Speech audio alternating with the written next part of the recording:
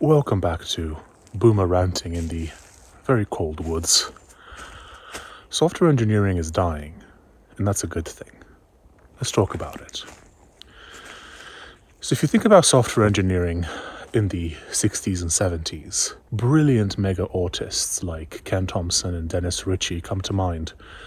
People who built Unix, who built C. All of this was done in a academic slash research setting, right? I mean, uh, the uh, uh, Xerox PARC, the Palo Alto Research Center comes to mind. At the time, being in the computer nerd field wasn't particularly financially rewarding.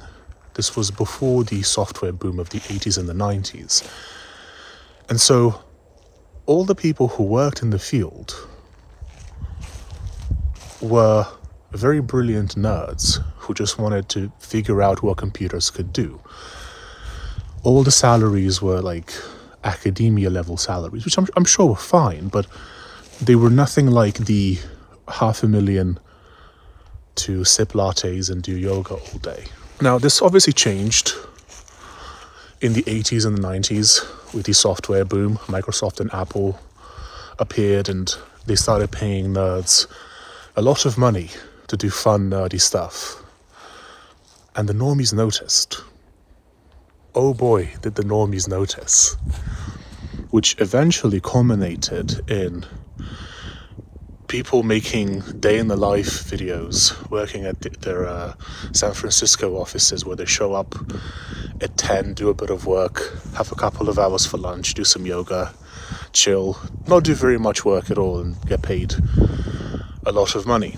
And this is where the influencers really came in and started telling people, hey, bro, you could you could just learn Python, bro. Make six figs, bro. And I think that's where the beginning of the end comes in.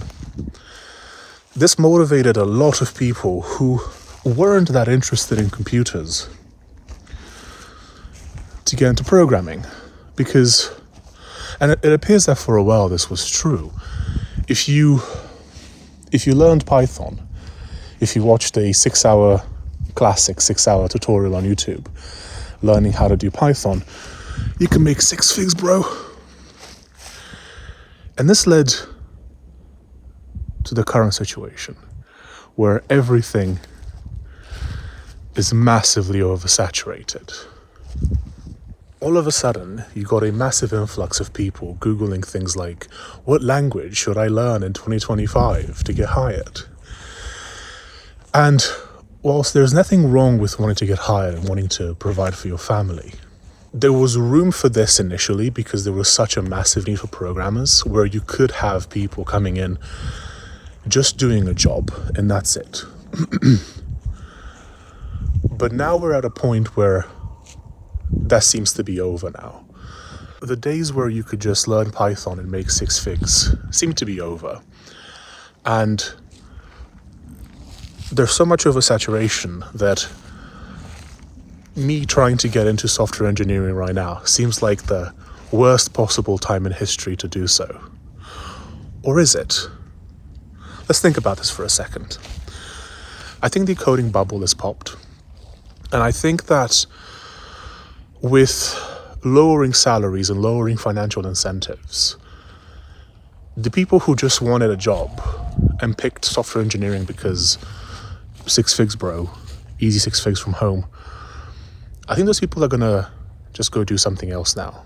I think they're gonna go, I don't know, become plumbers or something, or whatever the whatever the newest learn an easy skill, make six figs will be.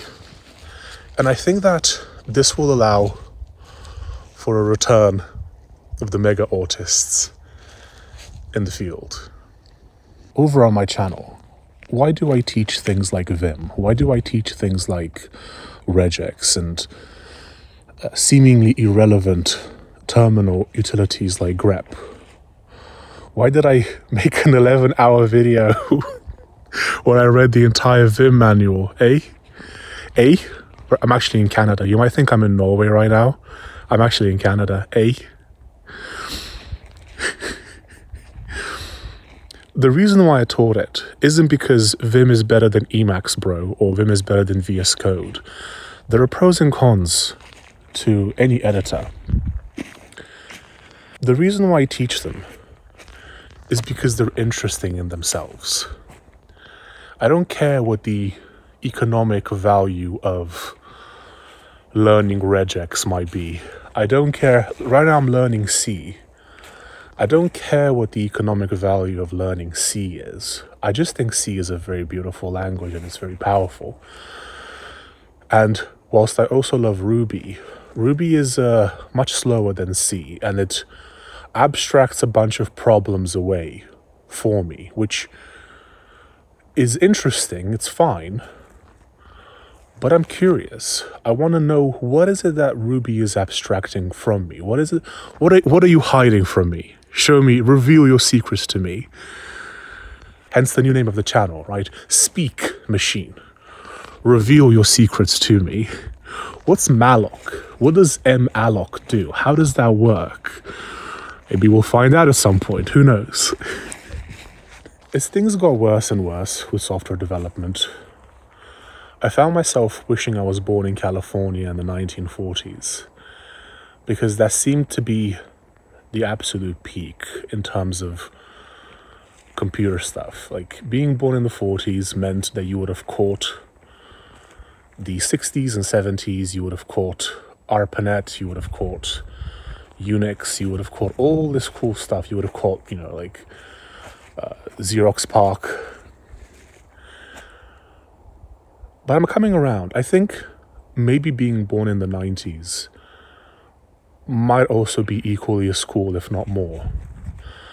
I have a suspicion, maybe this is just maybe this is just copium on my part. This could be just this could just be copium on my part. I'm, I'm being honest here, but I have a feeling that with the rebirth of computer of with the rebirth of software engineering, with all the normies getting out of the way,